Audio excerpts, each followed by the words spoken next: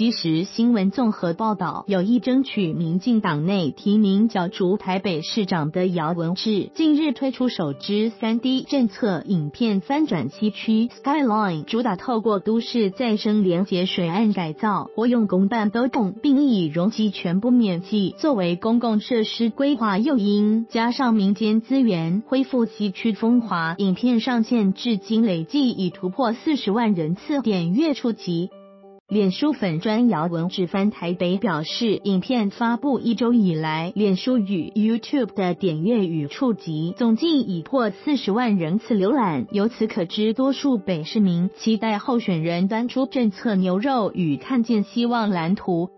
姚文志透露，这支短片结合政策发想与设计创意，将公办都更和水岸整合起来，创造 Skyline 计划文字行珠与影像。表面上很炫，但背后却是无数次实地探勘与政策激荡，同时考量资源预算、其成规划和可行性，透过 3D 模拟动画，让市民预见未来真实情况。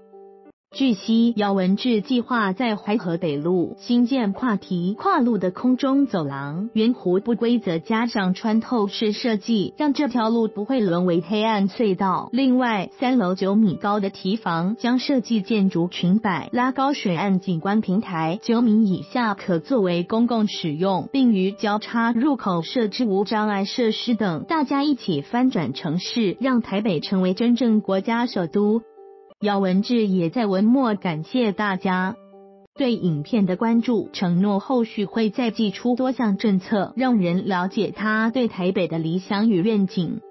网友表示：四十万很多吗？一个礼拜四十万是蛮厉害的，能换成选票再来嘴，至少算是准备最足的。所以是选上了吗？看看粉丝团人数，不知道怎么算的，还蛮有创意的。效益评估如何？